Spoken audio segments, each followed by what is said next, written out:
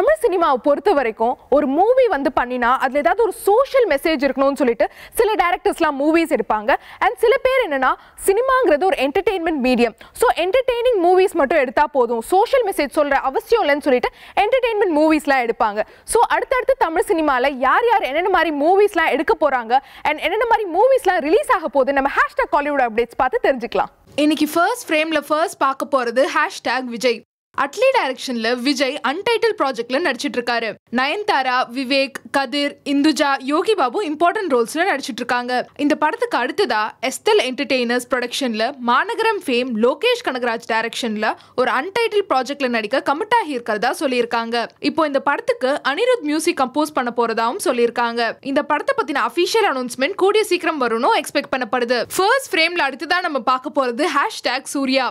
செல்வராகவன் டைரக்ஷன்ல சூர்யா என்ஜிகே படத்துல நடிச்சு முடிச்சிருக்காரு.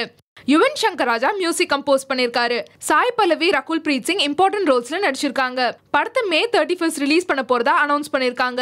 இப்போ படம் சென்சாருக்கு ரெடி ஆகிட்டதாவும் படத்தோட ஆந்திரா அண்ட் தெலுங்கானா தியேட்டரிக்கல் ரைட்ஸை சேல் பண்ணிட்டதாவும் படத்தோட டீம் சொல்லியிருக்காங்க ஃபர்ஸ்ட் ஃப்ரேம்ல அடுத்ததா நம்ம பார்க்க போறது ஹேஷ்டேக் த்ரிஷா.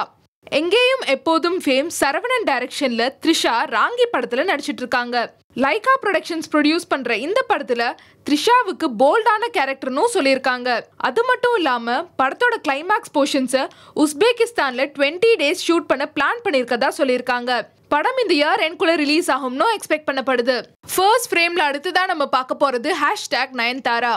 மிஸ்டர் லோக்கல் படத்துக்கு அப்புறமா நயன்தாரா தர்பார் விஜயோட அன்டைட்டில் ப்ராஜெக்ட்னு நிறைய படங்களை கைவசம் வச்சிட்டு இருக்காங்க அந்த வகையில உன்னை போல் ஒருவன் பில்லா டூ படங்களை டைரக்ட் பண்ணின சக்ரி தொலைத்தி டைரக்ஷன்ல கொலையுதூர் காலம் படத்துல நடிச்சிருக்காங்க. எக்ஸெட்ரா என்டர்டெயின்மெண்ட் ப்ரொடியூஸ் பண்ற இந்த படத்தோட டீசர் ஆல்ரெடி ரிலீஸ் ஆகி ஆடியன்ஸ் கிட்ட நல்ல ரீச் ஆகி இருந்தது. இப்போ இந்த படத்தை ஜூன் 14th ரிலீஸ் பண்ண பிளான் பண்ணியிருக்கதா சொல்லியிருக்காங்க. ஃபர்ஸ்ட் ஃப்ரேம்ல அடுத்ததாக நம்ம பார்க்க போறது hashtag Sasikumar.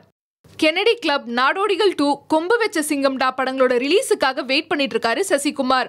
அடுத்ததா மாசாணி ஜாக்சன் துரை அடங்காதே மாதிரியான படங்களை ப்ரொடியூஸ் பண்ணின ஸ்ரீ கிரீன் ப்ரொடக்ஷன்ஸ் பேனர்ல ஒரு படத்துல நடிக்க கமிட் ஆகி இருக்கிறதா சொல்லியிருக்காங்க. இந்த படத்தோட டைரக்டர் மத்த கேஸ்ட் அண்ட் க்ரூ பத்தின டீடைல்ஸ் கூடிய சீக்கிரம் வரணும் எக்ஸ்பெக்ட் பண்ணப்படுது.